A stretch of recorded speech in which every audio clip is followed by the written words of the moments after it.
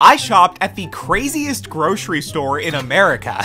For $90, you can buy the world's largest egg, see random pop culture references everywhere with no context, or marvel at their 700 pound block of cheese. It is a big cheese. The store is called Jungle Jim's in Ohio, and it's run by an eccentric wizard who you can learn about in the store's built in movie theater. That monorail is such a loser.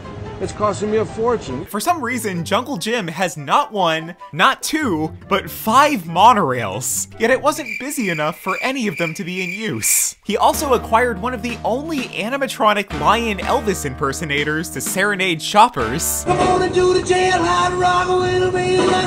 But the store sells literally everything, from kangaroo to camel, alligator, Mmm. it almost has a little bit of a swamp aftertaste, but if you happen to have any complaints, you can simply just call Jungle Jim's wife.